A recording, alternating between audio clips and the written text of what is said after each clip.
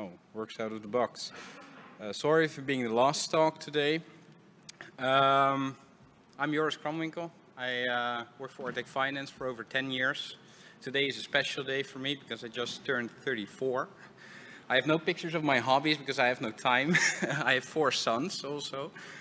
So I have to make fun at work, which I'm uh, gladly to, to present today.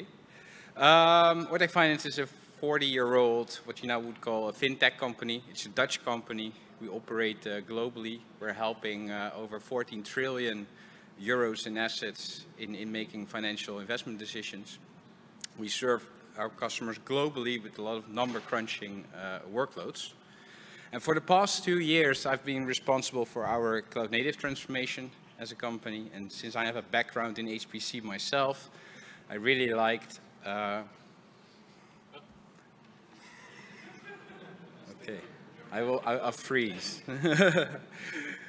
I really liked onboarding our HPC workloads. And uh, last year I was in Valencia to, to, uh, for inspiration. I'm very excited to share uh, as a speaker now uh, our journey so far.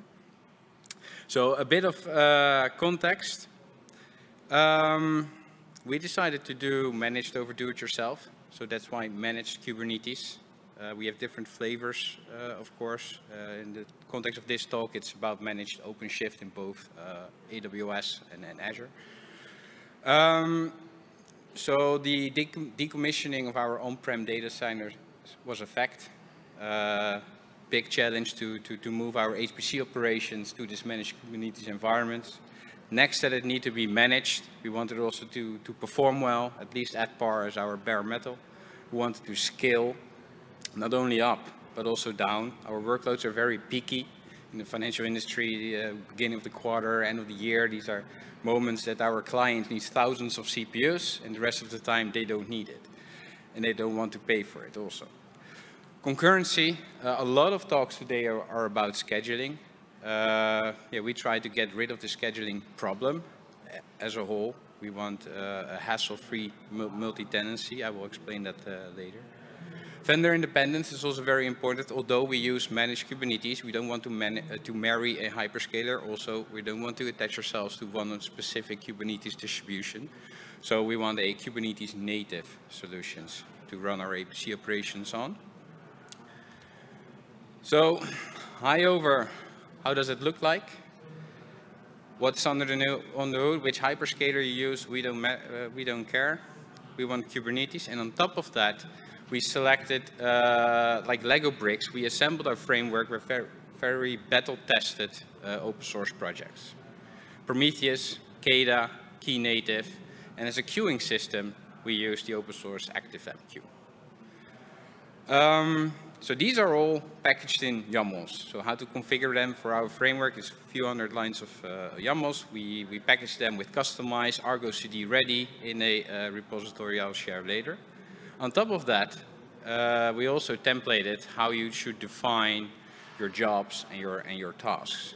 These are just 300 lines of, of C Sharp, so that's truly our contribution. It's really about how it, the, it interfaces with the rest under the hood. It is in .NET, but you can easily uh, do it in Python as well. Uh, so this is a very lean uh, uh, uh setup. And our context is, so in, in our pods, it can be thousands lines of, of, of Python that's uh, it's running, but we also have fat pods, like 600,000 lines of, of, of C Sharp in one container. It's all one process per container context. So how does it look like? So from left to right, uh, our users interact via REST API, which is key, uh, which is uh, provisioned by uh, Knative. It's, it's serverless. It, the HTTP traffic triggers, awakes the API. The API is responsible for putting a job on the job queue. Keda sees the job coming in the queue and, and creates a Keda ScaledJob. And that's nice that it's in the queue because if somehow the job is killed or, or terminated, as long as it's not acknowledged on the queue, it will reboot the job. So it's very resilient in nature. The job is responsible for putting tasks on the queue, which allows us also to, to do uh, DAG workloads. if tasks are put on the queue, Keda knows how many pods it wants uh, uh, to compute. And these task runners are actually very stupid things. They just fetch from the queue, execute, acknowledge the task, and repeat until the queue is empty. So we have a termination of X seconds for after the queue is empty. And then these uh, task runners will terminate themselves and scale back to zero.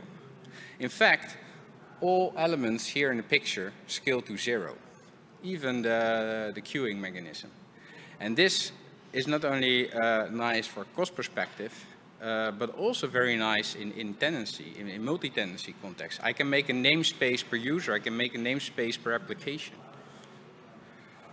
Um, so, so far, uh, scaling pods. But the big question is, if we can scale pods, scaling pods is easy, but how, in a managed context, does the infrastructure scales along? So in Kubernetes context, the cloud controller manager is responsible for this and depends a bit on the hyperscaler of its implementation. But uh, some managed Kubernetes uh, providers have machine sets, node pools, they all have different names for it. But in essence, VMs are provisioned automatically based on pending, pending pods.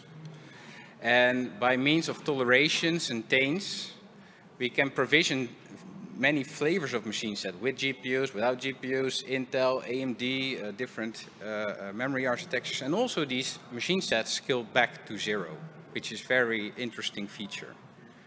So how does it work in practice? So this is nice in theory. So how does it work in practice? So this is kind of the conclusion on, on, on this question. Does this elasticity, elasticity promise of a cloud, uh, can you monetize on that in HPC context? So these are empirical results, uh, but we were able to spin up 1500 CPUs within 20 seconds up, of the 20 minutes up and back to zero.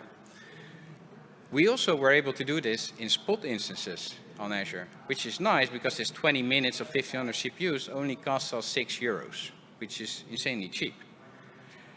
It scales to zero, which is nice, although I have to say if you use these uh, open source projects, you want operators to be there, which have controllers, so you pay the price of them. Uh, node provisioning is an interesting topic because it really relies on how fast your hyperscaler can provision these VMs. And we tested both on Azure and AWS. It's roughly four minutes for a node to come up. Regardless the VM family and regardless the hour of the day. We thought, okay, maybe in business hours it's slower, but it's not the case. It's, it's, it's a bit volatile though. In order for this to work, you need a very good machine set or node pool implementation. Depends a bit on hyperscaler, how mature these are. Regarding downsides, yeah, these managed Kubernetes clusters come also with guardrails. So uh, sometimes they have a limited maximum amount of nodes you can hit at a certain point. And also with Azure, uh, we, we perceive that sometimes we get, we, we ask for a certain VM type and under the hood we get different hardware, newer generation hardware, and that leads to, to unexpected results. I know in, in AWS, these, this is more tightly coupled.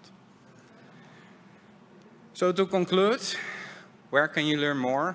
Uh, so we run this stuff in production uh, with our products. Um, we extracted kind of the bare minimum, put it in, into GitHub. I have a student now that's working on a Slurm interface, like this REST API part. You want uh, to talk with the, the, Slurm language to it and, and see how you uh, can offload your workload there. We want to track carbon footprint in the in the uh, workloads we uh, we run. And furthermore, uh, another colleague, colleague of mine uh, recorded the demo where you see this in, in, in, real life, scaling from zero machines to many.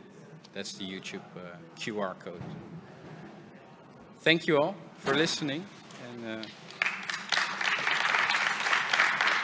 hope you have a good conference.